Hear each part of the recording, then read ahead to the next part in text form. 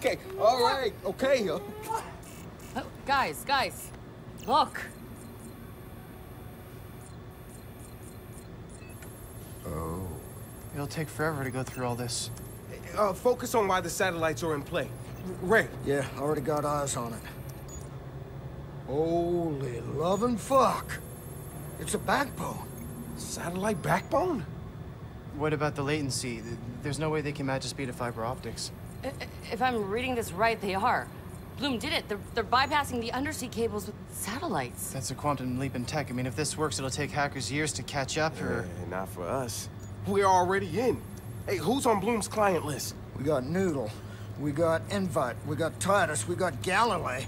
We got the, the government. The New York Stock Wait, Exchange. so all these companies just agreed to up and funnel all their data through Bloom? Does anyone else find this suspicious? All that data at Bloom's fingertips, that's like the world's most powerful monopoly. Can we nuke the backbone? No, no, even if we could, we still need answers. Hey, everybody listen up. Our work is far from over, but with this score, at least we're on the playing field. So pick a target. Invite, Tidis, Dibs. whatever, and start digging. Look for shit they're not supposed to be doing, right? Dushan wants to paint us as an enemy? Let's show him what going to war with us really means. Yeah. Yeah.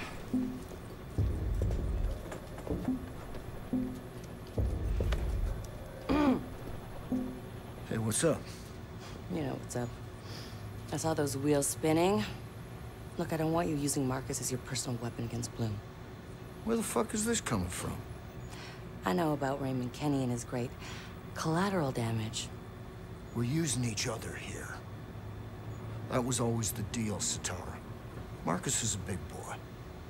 He knows how to look after himself. Mm-hmm. Sure.